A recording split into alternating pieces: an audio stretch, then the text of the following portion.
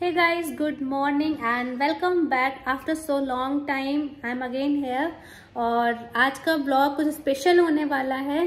तो क्या स्पेशल होने वाला है पिकू? बताएगी? कार आ रही है। जी हाँ तो हम लोग जा रहे हैं अपनी कार की डिलीवरी लेने। सो मैंने सोचा क्यों ना मैं आज से फिर से अपने ब्लॉगिंग स्टार्ट कर दूँ। तो बस हम लोग रेडी हो चुके हैं कुछ इस तरीके से। पिकू भी रेडी है। और बस थोड़ी देर में हमने टैक्सी बुक की है वो आ रही होगी और बस हम लोग जाएँगे फिर वहाँ पे आपको लेके चलेंगे और दिखाएँगे कि हमने कौन सी कार बुक की है और कैसे कैसे क्या क्या करना है। चलिए फिर चलते हैं। लोग जा रहे थे तो हमने अपने लड्डू गोपाल को भी साथ में ले लिया कि इनको सबसे पहले हम अपनी कार में बैठाएँगे उसके बाद ही हम लोग कुछ और करेंगे।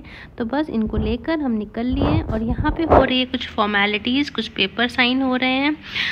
डिलीवरी से पहले वाला तो बस वही सब कर रहे हैं। तो आप भी बने रहिए इस वीडियो में और देखिए अभी आगे क्या क्या होने वाला है।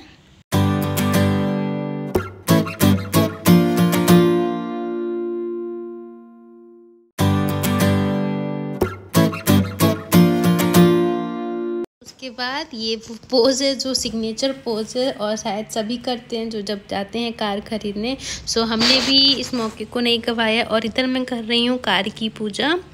तो बस यहाँ पे हम स्वास्तिक बनाएँगे अच्छे से। एक्चुअली रेड कलर की कार थी तो रेड कलर दिख नहीं रहा था तो मैंने हल्दी और कुमकुम दोनों मिक्स करके ही स्वास्तिक बनाया था यहाँ पे।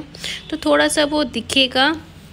उसके बाद बस ऐसे पूजा कर ली थी। हमने पूजा करने के बाद पिकू रानी से पैर छुआया था और लड्डू गोपाल को हमने सबसे पहले ही अंदर रख दिया था। और यहाँ पे पिकू रानी हमारी अपने पैरों से माता जी हमारी कार को आशीर्वाद देंगी।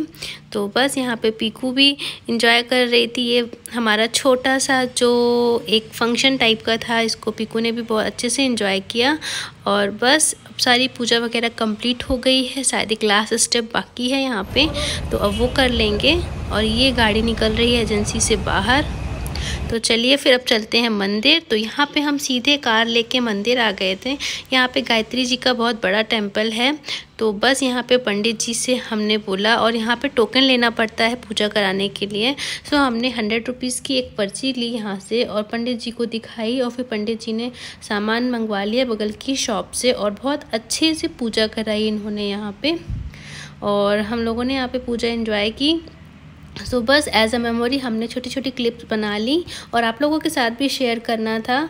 तो बस यहाँ पे हम चारों ही व्हील्स के आगे नींबू रखेंगे। साउथ में एक कल्चर है तो नींबू वाला। तो हम लोगों ने भी फॉलो किया। पंडित जी ने बोला कि ऐसा करना है तो जहाँ जहाँ रहो उस हिसाब से चीज़ों को कर लेना चाहिए। तो बस यहाँ पे हो रही है हमारी कार की पूजा।